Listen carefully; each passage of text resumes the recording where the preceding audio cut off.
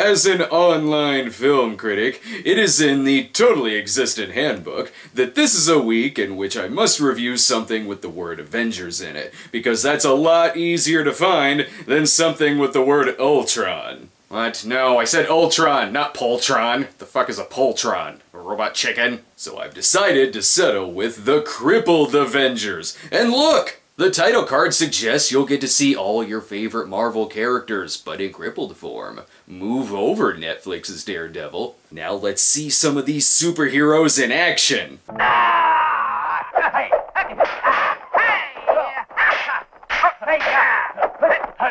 Psych, it's a kung fu movie. This doesn't have shit to do with Marvel's Avengers. Let the summer movie season begin.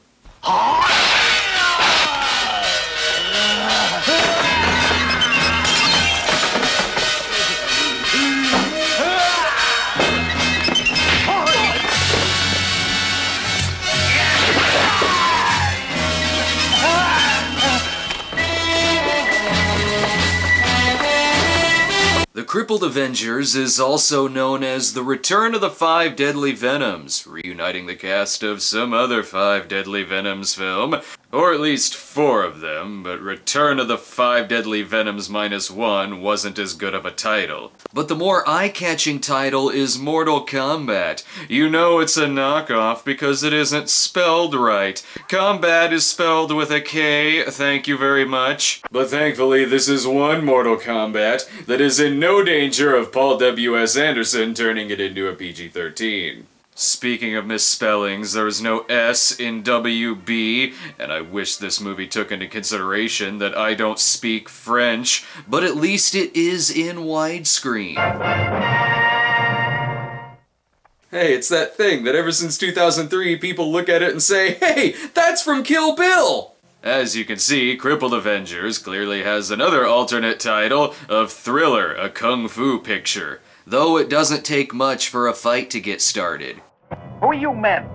Tin and Tigers. We want to see two Tin Toe.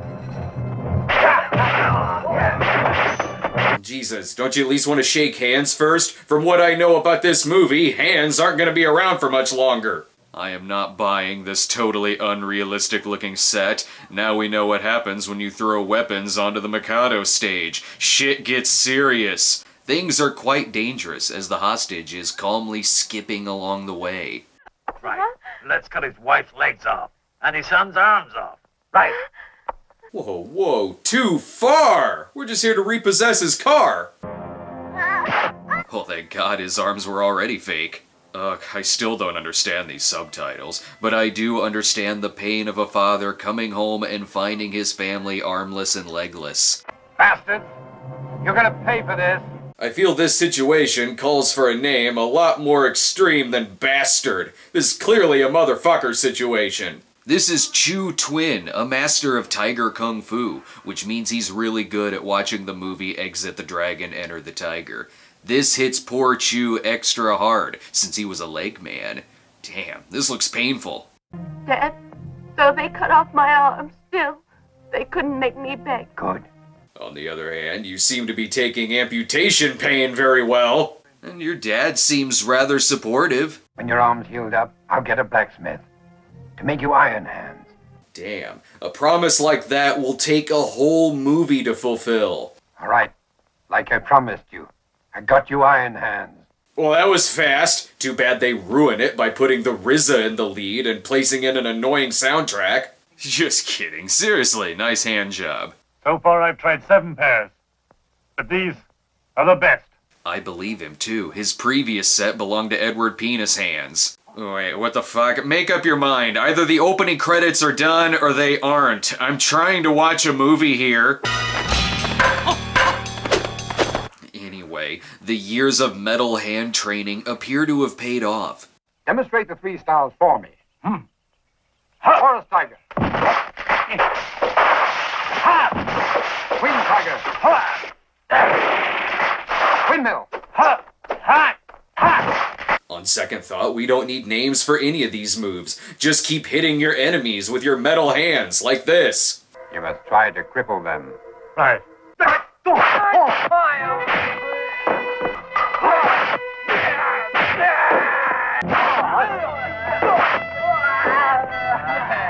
They sure are crippled now. Until their wounds heal and then they return, pissed off and with guns. Poor Chu Cho Chang may have no arms, but he still has continued parental support.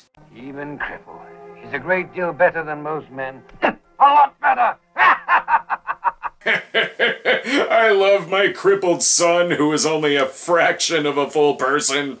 Dear Cinema Snob, I'm writing to express my outrage at you, jokingly referring to the armless character as Chu Cho Chang. I realized you grew up in a decade dominated by names like Long Duck Dong and Short Round, but here in 2015, we don't really take kindly to mocking Oriental names with words that sound like you're trying to say choo choo train in order to poke fun at the Asian handicap. What?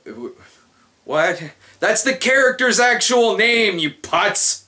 Okay, good job at not staring at his hands. What are you two doing? This truly does deserve a slap in the face, and nothing more extreme than that. I.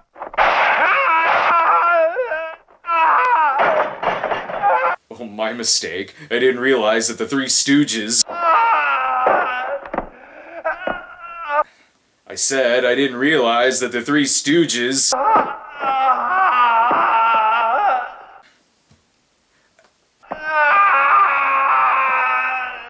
Enough!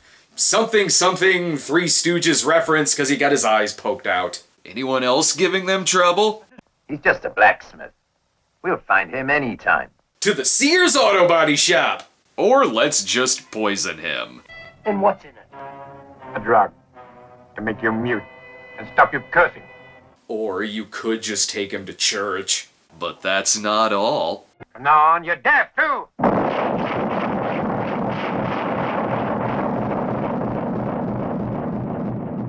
One power the metal hands don't have. The power to make someone hear the ocean until they go deaf. I'm starting to wonder who the real villains are here. It sets up that these are supposed to be our sympathetic heroes, but all they're doing is going around crippling people who look at them funny. That's like if an hour into Death Wish, Charles Bronson just started raping people. He should be using his iron fists for good, like pulling off these fake sideburns. Also, you're wearing your headband wrong. Good thing that stick works. He knew the stairs were there so he could perform a pratfall on them.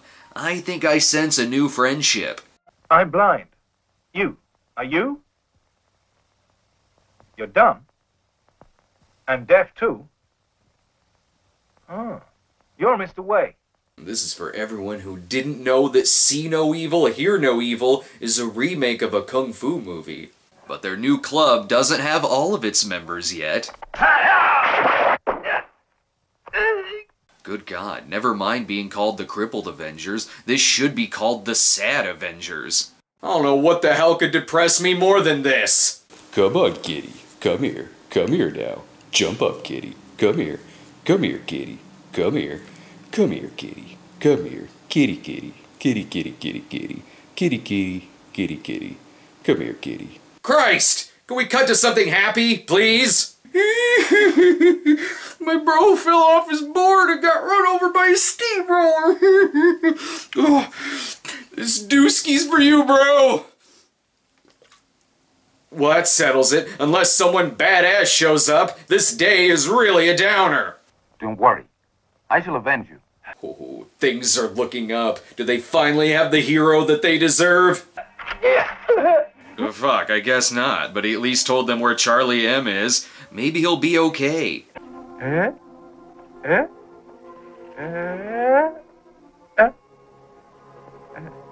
Eh? Well, great. Our lead Avenger is now such an idiot that he has the sudden urge to binge watch Celebrity Apprentice. At least he plays the part dignified. I always wondered what Multiplicity would look like if it were a kung fu movie. I see this is the part where he gets a letter saying his name is Jim and that they found his birth father. The Dragon Sound origin story is a little far-fetched. And I suppose this is the rest of the movie. Never mind the revenge, let's watch a dumb guy fix things. Just kidding. They're off to see the Wizard of Oz. He doesn't cure them, he just breaks their spines with a magic broom. Serves them right. Look at how they spend their free time.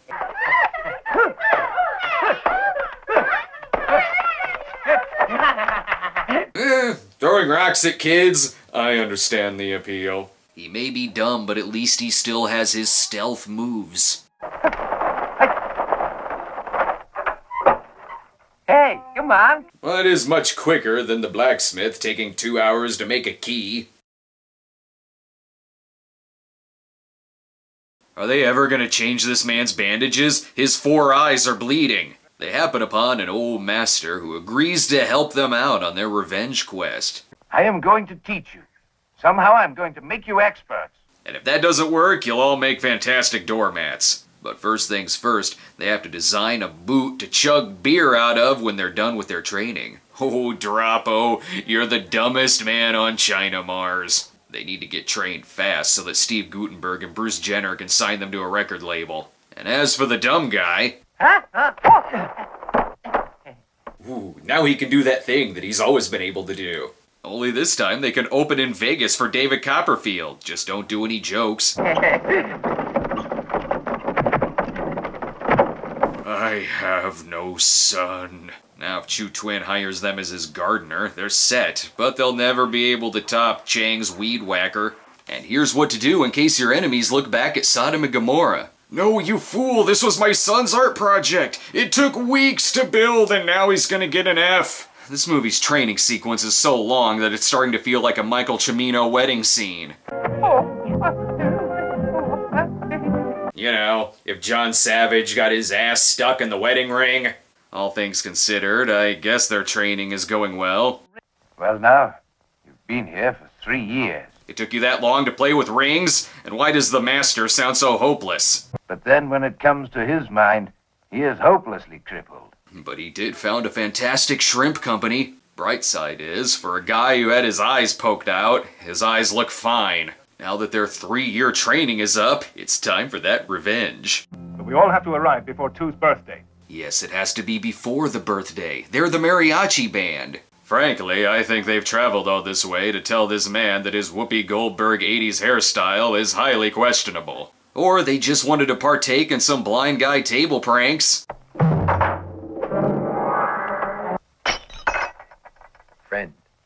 Drink? Man, high school is rough. Mr. Warren, have you forgotten that three years ago you said to me, Oh, fuck. Uh, it's been three years. Uh, I forgot. What are we fighting about again? No, no, stand back. If we all rush him, that'll make more sense and we might win. Best settle this with conversation. Huh? Huh?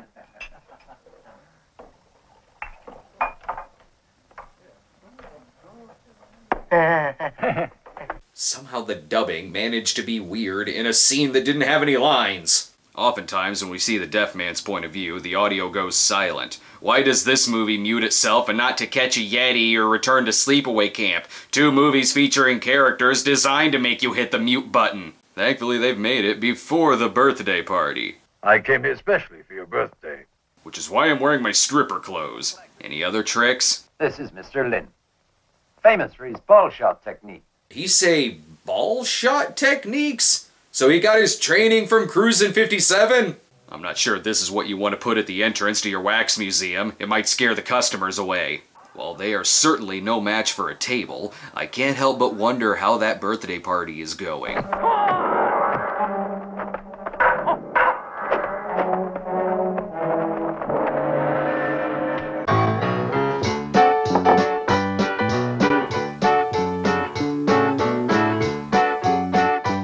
God damn it, last house on the left! Stop ruining shit! And if you're wondering more about this guy's techniques, excellent. Now let's try one that's not made out of plastic. Now the revenge is underway. Hope nothing happens. Tomorrow's the birthday. I feel like the movie is insisting that we, the audience, don't forget his birthday. What do I care? I didn't even get an invitation. I wonder if they too get their revenge by making the others crippled, like the Metal Hands did earlier. now you're life disabled. A smart trick. Wonder who taught him. What, to chop a stomach in half? I think it was Dr. Giggles. Things are getting serious. I just wanted to make sure that nothing could spoil the birthday. Okay, you need to accept the fact that this birthday party is a bust. But the presents turned out nice. They all got shields and swords.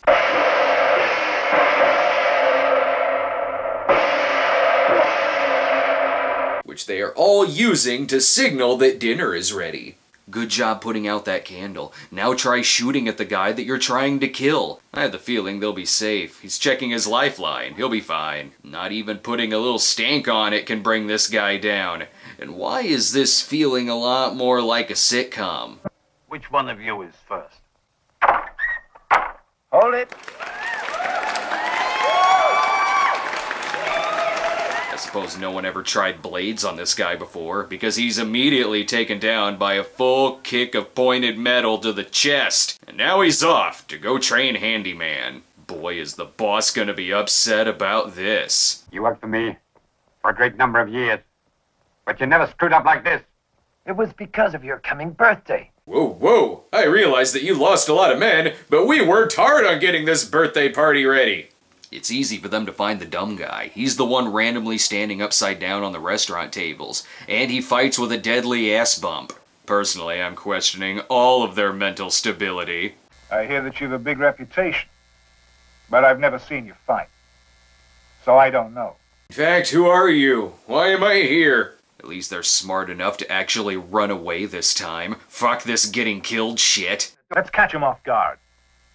We'll attack tomorrow. Exactly. You must die after the party. It's gonna be a real shindig. Wait, is this the birthday party or is it a wedding ceremony? This is gonna be the worst birthday party since Happy Birthday to Me. A couple of them are instantly distracted by the power of the sun, annoying noises, and what are they gonna do to this guy? Show him some geometry to confuse him? I'm confused about how they're expecting me to believe that these people are really getting stabbed. And why is he spanking someone's ass in the background? Now the characters are just fucking with me. Why is this fight lasting so long? I saw him shoot with those hands earlier. What is he waiting for?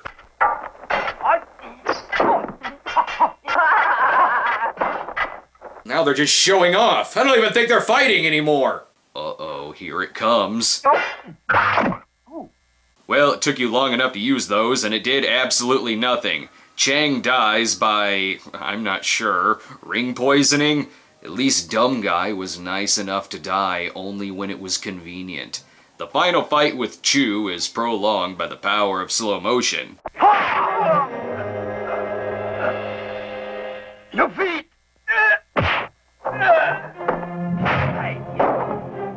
Ended by the power of steel foot to the chest. Ooh, now all we're left with is one final line that truly shows how far the characters have come in their badassery. We get him?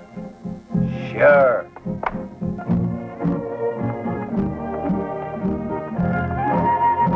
The hell kind of final line was that? They don't seem too sure that the villain is dead, but they seem damn sure that the movie's over. Crippled Avengers was the eighth film in a series featuring the group, which was known as the Venom Mob. They were kinda like the real mob, only they put snake heads in your bed. The actors were highly trained in martial arts, weaponry, and often did all the choreography for their films, of which over two dozen were made. Sure, you could watch those, or you could make this a double feature with Crippled Masters. Best stick with the Crippled Fighters subgenre, which apparently is a thing.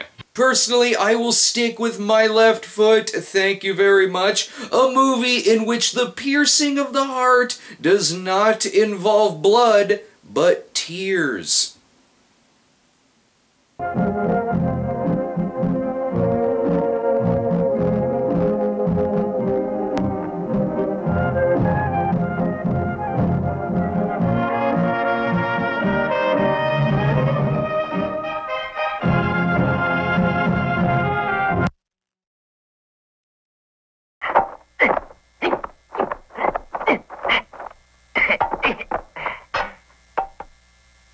Is no fun.